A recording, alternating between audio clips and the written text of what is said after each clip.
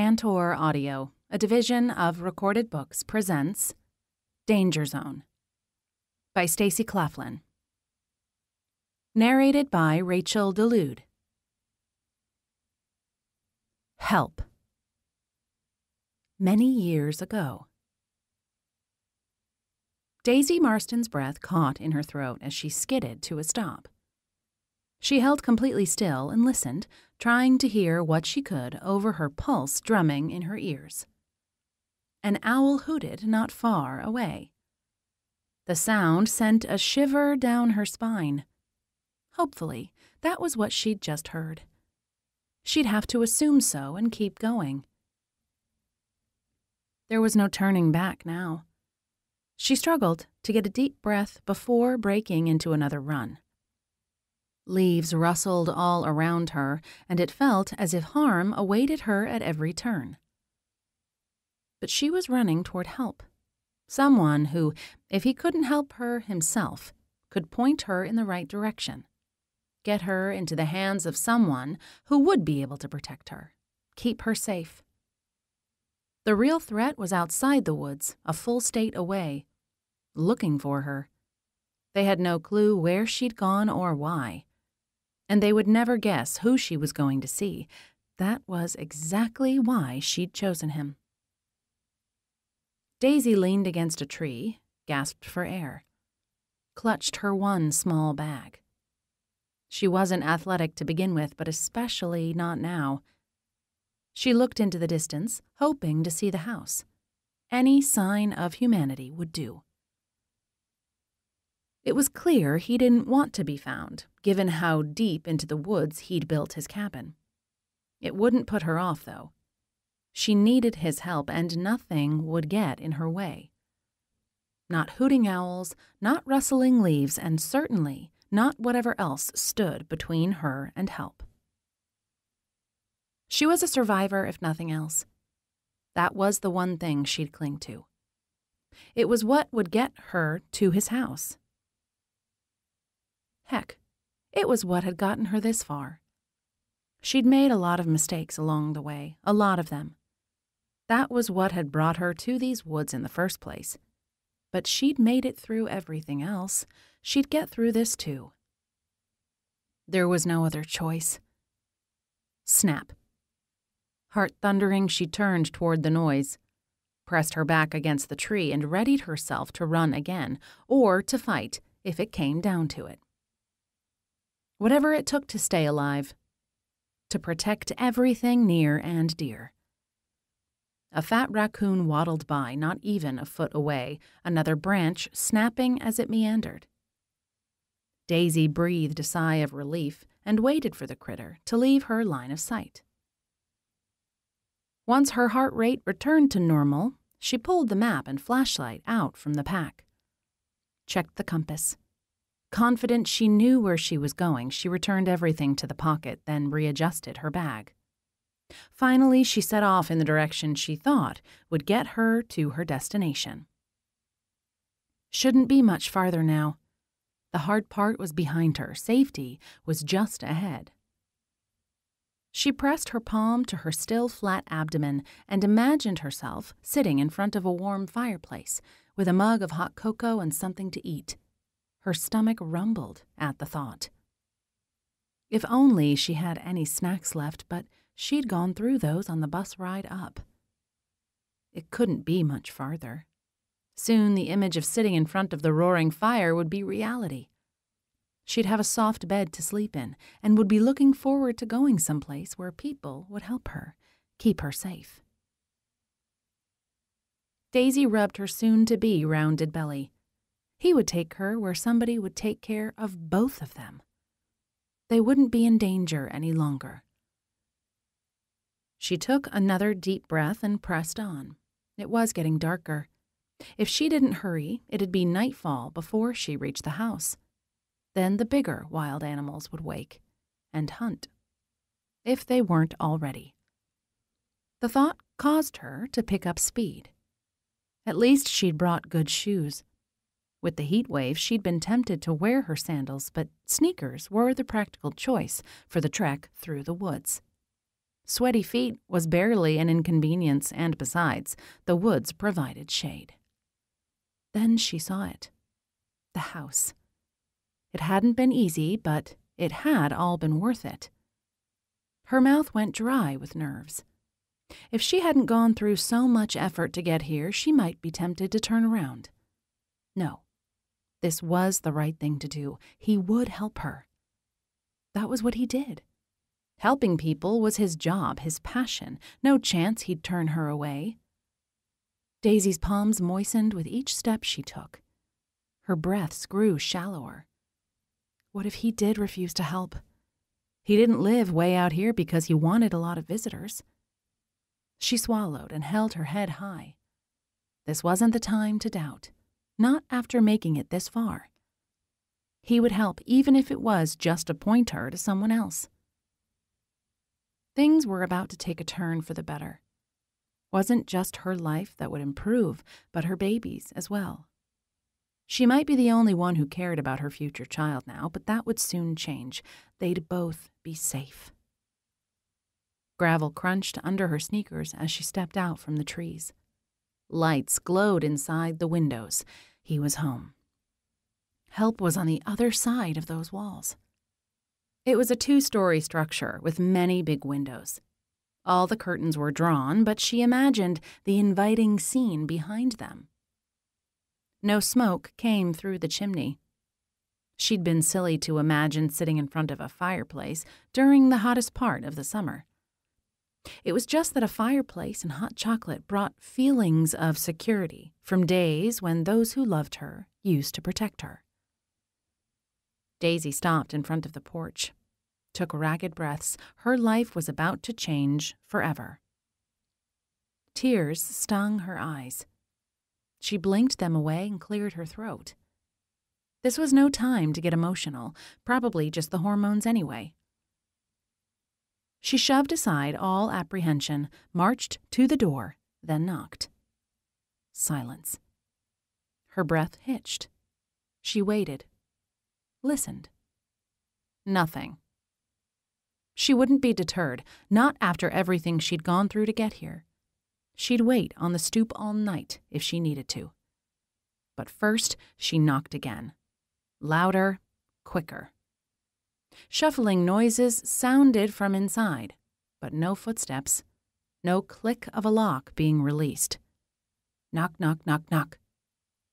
She pressed her ear against the door, heard unintelligible mutterings. Mr. Hawkins, please open up. I'm not interested in what you're selling. Go away. Daisy knocked again. I'm not selling anything, please. What do you want? He sounded closer. I need your help. I'm not giving handouts. Go away. Her mind raced for something to say that would get him to open the door. That's not what I need. Just hear me out. Click. The door opened a crack, stopping because of a chain. One dark blue eye appeared. You have exactly 30 seconds before I call the police. Daisy's heart leaped into her throat. Please, Mr. Hawkins, I need help. There are people who want me dead. The man on the other side of the door arched a brow. Now I'm certainly not opening the door, not letting them in my house. She shook her head furiously. They're back in Oregon. Don't know where I am. The eye narrowed. Why come to me? Because you help people. Not like this. I just need you to take me to someone who can help me. That's all you have to do. Are you a criminal running from the law? Daisy shook her head no. Nothing like that. What then? She gasped for air. I'm pregnant. And somebody wants you dead for that? Yes. I've tarnished my family's reputation, and my parents will want me to get rid of it, but I won't. It's my baby. That's why I need your help. And you came here from Oregon to see me? You're the only one I know who will help me. Those dang tears stung again. Please. He took a deep breath. I don't know what you think I can do for you. I'm not putting up an unwed mother and her baby. You know people. Somebody who can help me, please. As Mr. Hawkins studied her, his mouth formed a straight line. You don't have any weapons on you. She shook her head. No, I swear it. Fine. After sliding aside the chain, he opened the door wide and held out his hand. Let me see your bag. Okay. She placed it in his grasp. He rifled through it, then motioned for her to come inside. You hungry? Relief washed through her as she stepped into the entry. Famished. Tired? She nodded. Good. What? He grabbed her arms and pinned them behind her back. What are you doing? Daisy struggled against him. Helping you. He forced her down the hallway and shoved her in a utility closet. Something jammed into her back and her head hit a broom handle. I d- don't understand. She struggled to stand up straight. You will. He slammed the door shut. Click. Daisy pounded on the door. Let me out! Shut up! She banged so hard her fists hurt. Help me! Quiet, or you'll regret it! Tears streamed down her face as she hit the door and screamed. She'd have been better off staying home. Help me! Snub. Officer Alex Mercer clocked out and headed for his captain's office. Captain Fleshman. When on duty, Alex had to think of him that way. The rest of the time, like now since his workday was over, they were best friends. Nick's door was open. He was on the phone and waved him in, but held up a finger indicating for him to stay quiet. Alex kicked back in the chair on the other side of the mahogany desk and rubbed his neck. He'd taken down a drug dealer near the high school earlier and ended up pinching something. After Nick ended his call, he said, Ready for the weekend? Alex shook his head. Working overtime, remember? That's right, saving for a family vacation. Vacation slash late honeymoon. It's not a honeymoon if you're bringing the kids, Nick teased. Alex waved. Potato, potato. Zoe still wants to go to Paris? Ari talked her into Hawaii. Nice. Nick organized some papers on his desk. Got big plans for the weekend? Alex asked. Trying on a tux? Tasting cake? Better. The captain's face lit up with a fresh wave of excitement. We get the keys to the house tonight. Time to turn that fixer upper into our future home. If you want help, let us know. We'll be happy to do whatever you need. Nick rose. Might take you up on that. We got the deal of the century, but it's going to take work. I still think you're crazy. Alex stood and shook his head. Buying an old house filled with stuff? You're trading money saved for time. It's not like the house is filled with junk. Genevieve wants to restore some of the furniture. She swears half of the pieces are antiques. We'll probably be able to sell most of what we don't keep. Alex snickered. To each his own. I wouldn't want to clear out a stranger's life, but that's just me.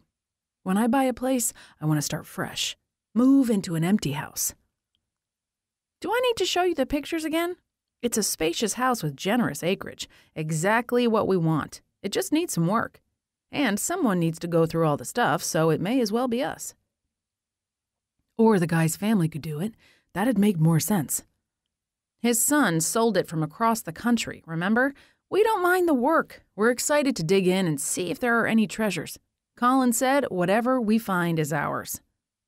Even if you find something really valuable? Nick shrugged. I get the feeling he doesn't want anything to do with his father, just wants to be rid of the property left to him. I think I'd be curious to know what was there if it was my family. Bingo! Nick snapped his fingers. Now we get to see what we can find. That does sound kind of fun. Maybe, if you like decluttering. Actually, I'm really happy for you all. Once it's set up how you want it, it'll be the perfect space for your enormous family. Nick laughed. We only have one more kid than you do. Until you two start having babies. They teased each other as they left the office, then said their goodbyes to the other officers as they made their way to the parking lot. Enjoy your weekend cleaning, Alex waved as he opened his car door. And have fun working, Nick waved back before climbing into his Mustang. Alex sent Zoe a quick text letting her know he was on his way and asked if she needed him to pick up anything. She didn't, so he headed home. The house was unusually quiet when he stepped inside. With seven people living there, something was almost always going on. Hello? Alex called. Nobody answered. He went to the garage turned apartment he and Zoe rented from his in laws. It worked so they could all raise Ariana since Valerie and Kenji had adopted her when he and Zoe were teenagers. Now they were married and also had twin babies, though they wouldn't be babies for much longer. It was nearing their first birthday already. Alex locked up his gun, changed into street clothes, and went back to the main part of the house. Peeked into the empty backyard. Then went upstairs. Music sounded from Ariana's room. Ari? He knocked, but she didn't respond. Maybe she'd left the music on before leaving. He pushed open the door. She looked up from her desk, eyes narrowed. Dad, I didn't say to come in. Ouch. Alex brought his hand to his chest. You didn't hear me calling? I did. She turned back to her textbook. He studied her for a moment before sitting on her bed. Everything okay? Yep. Alex took a deep breath. It wasn't like Ari to be so short with him. They always joked and laughed. Time to ask a question that can't be answered with one word. What are you working on? She groaned. Ari? Science. So much for that. Want some help? We always make a good team on your. No! She turned her back completely to him and scrawled something in her notebook. Okay then. He rose. If you need me, I'll be downstairs. Know where Mom is? She didn't respond. Frowning, he went back downstairs and looked around. After finding no one again, he texted Zoe. Alex, where are you? Zoe, next door. Your mom wanted to see the twins. Okay, heading over. He went to his parents' house. Zoe, his mom, and the babies were in the living room laughing. Alex gave hugs all around, then motioned for Zoe to follow him down the hall. Is something wrong? Her brows drew together in concern. I'm not sure. Did Ari say anything to you about me? No, like what? Zoe tilted her head. Is she distancing herself from you? He frowned. She wasn't herself at all. Would barely look at me or talk to me, much worse than it's been the last few weeks. Maybe it's hormones, boy problems. Who knows with teenage girls? Alex shook his head. It isn't that. It's as if she doesn't like me all of a sudden. Zoe kissed his cheek. Don't take it personally. We're probably going to face a lot worse before she graduates. This doesn't feel like normal teen problems. We were her age not that long ago, and we weren't like that. Any chance you're bringing your work into this? You see really crazy stuff every day, and Ari isn't involved with anything like that. I'm sure it's just hormones. I'd bet our vacation on it. Maybe. But he couldn't shake the feeling that something deeper was at play. Explore. Nick paused before sliding the key into the lock. Everyone crowded around him on the porch. Hurry, Dad! Hannah tugged on his arm. Just open the door! Relax, Ava told her little sister. You and Tinsley can't decorate your room yet. We have to empty everything out first. Remember how much stuff is inside? It's still our room. Hannah puffed out her lower lip. Genevieve arched a brow at Nick. Girls, he warned his daughters. I know we're all excited. Let's just relax and think about this as a fun adventure. Who knows what treasures we'll find? You mean junk, Ava muttered. I'm sure there'll be some of that too. He unlocked the door and twisted the knob before turning to his three kids, fiance, and her daughter. Welcome to our new home. Each person had varying degrees of excitement on their faces, even Ava, who had been complaining about all the work the house would need. After he opened the door, the kids nearly knocked him over as they flooded inside, each racing to the bedrooms. Ava and Parker both got their own rooms, while Tinsley and Hannah were equally excited about sharing one. Genevieve slid her hand into Nick's and beamed. This place is actually ours. He squeezed her hand. And you're sure you're up to the challenge? I can't wait. She led him into the living room and ran her hand over the coffee table. After some sanding and a new coat of paint, this is going to be beautiful. Then she dragged him over to the large dining room table. And this will be perfect for having people over. When Alex and Zoe bring their kids, we'll all fit. Can you imagine? Nick grinned. I sure can. Hopefully, we can hang on to the enthusiasm because I have a feeling we're going to throw away or donate most of this stuff. Good. We need to make room for all of our things. Dad, Parker called. Come here. Nick groaned, then exchanged a look with Genevieve. Problems already? Maybe he found something he wants to keep. Dad! Hold on! Nick headed upstairs for the bedrooms, hoping for the best. He was just glad that things had settled back to normal with his son after finding out that Nick wasn't his biological parent. He'd take any house problem over more issues with Parker. He stepped into the doorway. What's going on? Parker put his finger to his mouth. Do you hear that? Nick cupped his ear. There was a slight scratching coming near where his son stood, between a wall and a bed covered in a hideous floral comforter that took up most of the room. Might need to call an exterminator. Mice? Genevieve's face paled. Nick couldn't help being amused. His fiancée could take down hardened criminals, but she was scared of a little rodent. It's not funny. She gave him a little shove. Parker pressed his ear to the wall. Sounds bigger than a mouse, more like a cat. Hannah appeared in the doorway. We have a kitty? Nick shook his head. No, honey, maybe mice in the walls. What? Hannah clung to Genevieve.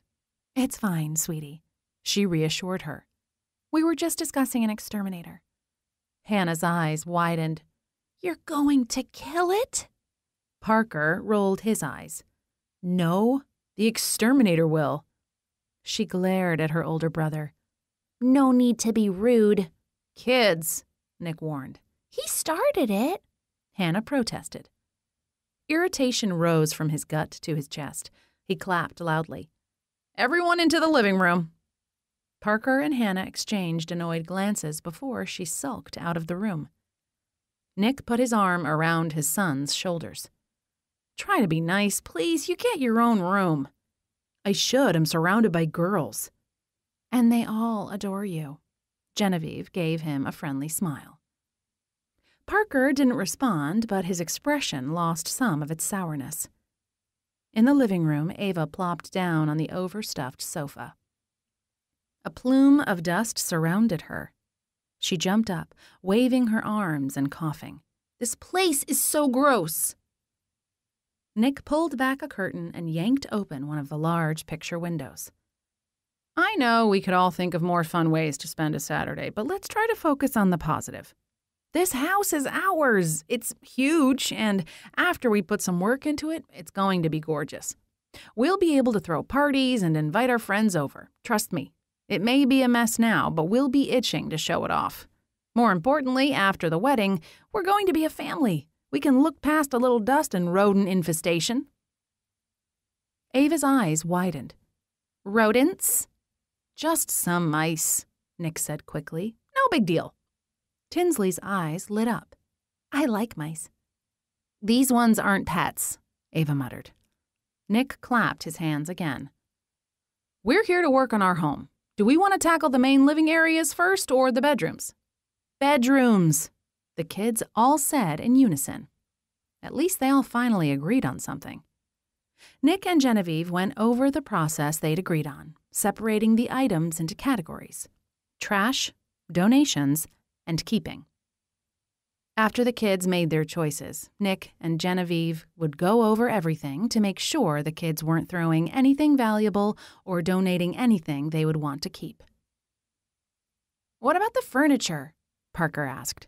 No way I'm keeping that bed, but I can't exactly get it out of the doorway either. Genevieve brought out sticky notes green ones for keeping and red for getting rid of. We'll figure out the furniture later. Probably have to break some of it down first. Parker groaned. How long will all this take? Nick looked around the cluttered living room. As long as it takes. I want to play football with the guys, Parker frowned. You will, but for now we're focusing on the house. The faster you work, the sooner we can head back home and chill. As the kids all hurried back to their bedrooms, Nick turned to Genevieve. If we survive this, blending into a family will be a piece of cake. She kissed his cheek. It won't be easy either way, but I love your optimism. You want to tackle the master bedroom while I take on the dining room? I can't wait to see what's in those cabinets. Have at it. He pulled her close and gazed into her gorgeous gray eyes. I can't tell you how happy I am that we're getting married and moving here together. She started to say something, but he pressed his mouth on hers and kissed her deeply. He pulled away before he wanted to because if he kept that up, he wouldn't ever want to start working on the house. She gave him a dazed expression and cleared her throat. Let me know if you need any help upstairs. Nick just nodded then watched her as she sashayed to the dining room. He nearly followed her, but reluctantly headed for the master bedroom. The way he was feeling, they were better off working separately. He'd never get anything done with her so close. He made his way down the hallway, checking on the kids as he passed their respective rooms. Amazingly, they were all hard at work and didn't even notice him poking his head in. The master suite was at the end of the hallway. It was probably the one that would need the most work since the old man had spent most of his final days in there, or so he'd heard. Nick opened the door and a waft of overdone air freshener hit him like a smack in the face. He coughed and turned on the lights. The covers were strewn across the Super King bed. Clothes lay all across the floor, the two nightstands were filled with medication bottles, and old framed photos showed a young family decades earlier when the old man had been in his prime. Nick pushed back the curtains and struggled to open the window. This room, more than any other, needed fresh air. The first thing he did was find where the air freshener was plugged in and pull it out. Then he noticed another and another. Every outlet in the room had one. Had the previous owner been trying to cover something up with them? Nick walked around the room sniffing, not sure he wanted to know the answer to his question. Options Alex stepped out of the bathroom and adjusted the name tag on his uniform. Zoe glanced up at him from the bed where she was reading and nursing one of the babies. She winked at him. My handsome man in uniform. You think I'm handsome? he teased. Aw, oh, shucks. She laughed. Stop. Come here. He sat next to her, tucked her hair behind her ear, and gazed into her eyes. I wish I didn't have to go in today. I'd love nothing more than to spend the day with you and the kids. Just me and the babies. My parents took Ari to the shore for the weekend, remember? That's right. Alex frowned. Ariana had left without saying goodbye to him. Zoe squeezed his arm. I'm sure she didn't mean to leave without saying anything to you. She's been excited about this trip since my dad told her about it. He nodded, though he didn't agree. Something was going on with Ari, and it was made all the worse by the fact that she wouldn't talk to him. Give her a call on the way to work, Zoe suggested. It's early. I don't want to wake her and give her another reason to snub him. On your break, then. Alex ignored the suggestion. What are you going to do today? Macy and I are going to take the kids to see Robin and Ayla. That'll be fun. His cousin and her daughter loved seeing the kids. Zoe frowned. How many more weekends do you have to work? As many as it will take to pay for the trip. Maybe I should look for work. That way, this isn't all on you. You switched to days to spend more time with us, and now you're working more. Defeats the purpose. He shook his head. No, you don't need to get a job. My overtime is enough. We need a family vacation. Now, more than ever, given Ariana's recent attitude toward him. But you deserve weekends off. Alex laced his fingers through hers. It'll help me enjoy our trip all the more. She frowned. I should try to find something. What about the babies? Alex glanced at the time, only a few minutes before he needed to leave. I don't want them in daycare. Our parents could watch them, or I could exchange childcare with Macy, if I can manage working opposite days. He leaned over to give her a quick kiss. I don't want you worrying about it, Zoe. I've been thinking about ways to monetize my blog. There are some advertising options I've been meaning to look into. I'll do that on my lunch break today.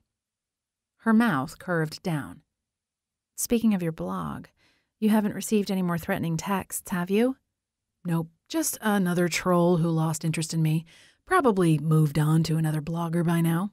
Good. I'll see you tonight. He headed for the door. Maybe I'll look into something I can do at home, Zoe said. If you really want to. He knew better than to disagree with her once she had her mind made up about something. Have fun today. Alex made himself a cup of coffee in his favorite travel mug before heading outside. He checked the whiteboard where Ariana sometimes left silly messages for him when he worked odd hours. Nothing. Crush. Ariana glanced down at the phone screen. Two more texts from Dad. Over 10 unread total since the weekend. The beach trip with Mimi and Poppy the previous weekend couldn't have been better timed. The last person she wanted to talk to or see was Dad. Just thinking of him made her stomach churn acid. She clenched her fists and drew in a deep breath. Emily slammed her locker shut and turned to Ariana. Going to watch the boys' baseball game with me? Not this time. Ari closed her locker. I have a study group.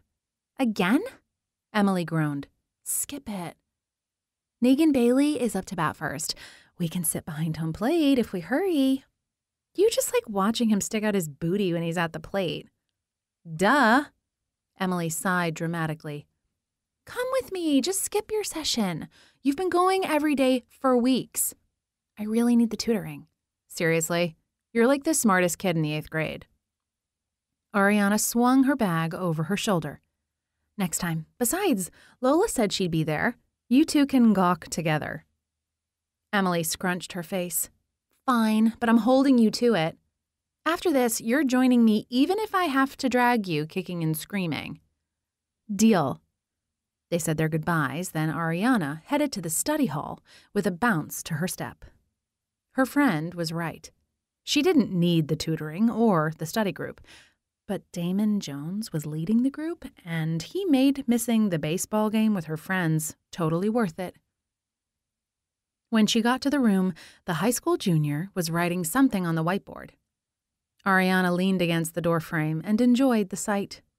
He was tanned, muscular, and tall. From her angle, it looked like he'd highlighted his wavy brown hair over the weekend. Negan Bailey didn't even come close. The muscles in Damon's butt clenched as he reached up to erase something at the top of the board. She dropped her bag. He whipped around. Ari, I didn't know you were here already. Heat flooded her face and she quickly picked up her bag. He'd caught her staring.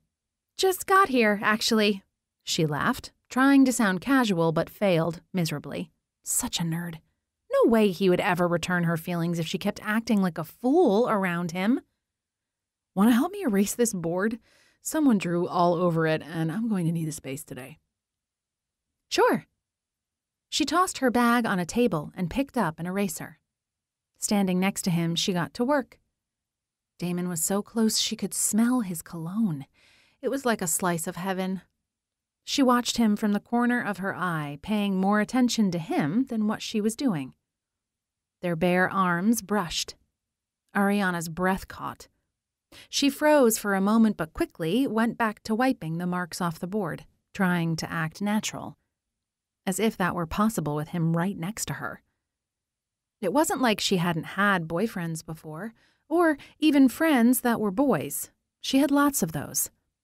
But there was something different about Damon. Maybe that he was older? Her boyfriends had always been in middle school, like her. He was practically a man, and he certainly looked like one. Her heart sped up. Think about something else. All done. Thanks, Ari. He flashed a bright smile at her. Her throat closed up. She nodded like an idiot and went back to her bag, mentally chastising herself. He had to think she was an idiot. She was definitely acting like she'd never seen a guy before, like he was some kind of alien. He leaned against the board and scratched his chin. Is your dad still. We hope you enjoyed this preview. To continue listening to this audiobook on Google Play Books, use the link in the video description.